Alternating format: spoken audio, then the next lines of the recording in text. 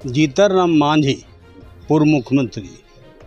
वो हमारे नीतीश कुमार से ज़्यादा उम्र के उनका थोड़ा खोपड़ी ढीला हो गया है।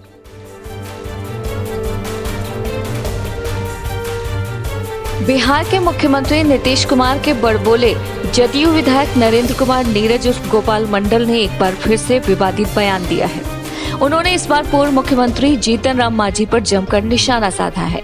गोपाल मंडल ने मांझी को छीट खोपड़ी करार दिया है। गोपाल मंडल ने जीतन राम मांझी को लेकर विवादित बयान देते हुए कहा कि वह नीतीश कुमार से ज़्यादा उम्र के लोग हैं।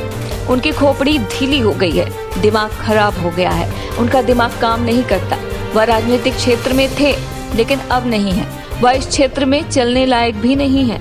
वह सिर्फ़ इधर उधर दिखावे के लिए उछल कूद करते रहते हैं। जब जीतन राम मांझी मुख्यमंत्री थे तो मैं उनसे मिलने भी उनके कार्यालय नहीं गया था। वही जदयू विधायक ने नीतीश कुमार के दिए गए सेक्स ज्ञान पर कहा कि अगर नीतीश कुमार बायोलॉजी की भाषा में या अंग्रेज़ी में वह सब कुछ समझाते तो शायद इतना विवाद नहीं होता। वह सीधे तौर पर लोगों से जो सारी बातें जनसंख्या रोकने के लिए कही है उसे लोग दूसरे एंगल से देखकर उनकी छवि खराब करना चाहते हैं। साथ ही उन्होंने नीतीश कुमार को विषैला पदार्थ खाने में मिलाकर देने के माझी के आरोप का भी जवाब दिया। उन्होंने कहा कि मुख्यमंत्री नीतीश कुमार को जब भी खाना दिया जाता है तो उसकी जाँच पड़ताल की जाती है। उनके खाने में कोई भी गलत चीज़ नहीं डाला जा सकता। जीतर राम मांझी, पूर्व मुख्यमंत्री। वो हमारे नीतीश कुमार से ज़्यादा उम्र के हैं।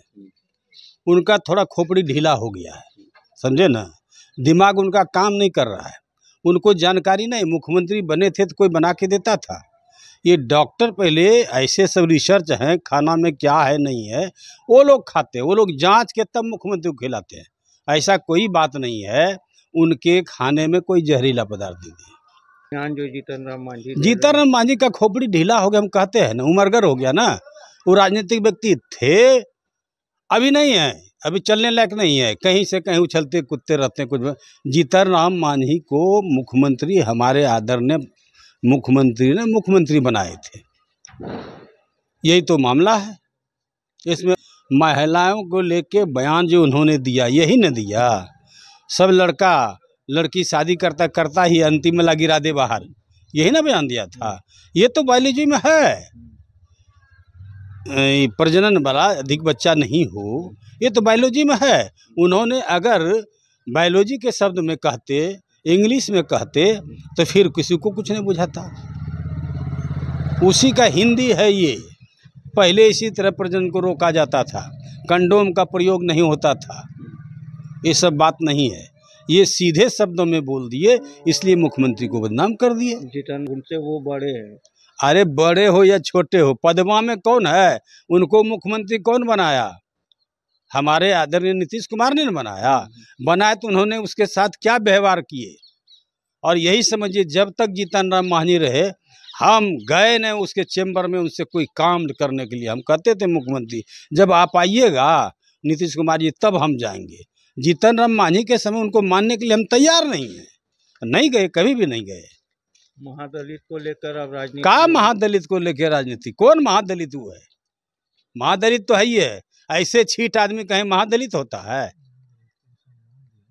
महादलित तो मुख्यमंत्री को मुख्यमंत्री ने सम्मान दिया हर चीज़ का दिया आरक्षण दिया बढ़ चढ़ के काम किया।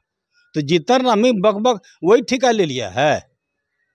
ठिका ले लिया है जीतन राम मांझे कि हम महादलित का नेता है वो नेता है? कुछ नहीं है।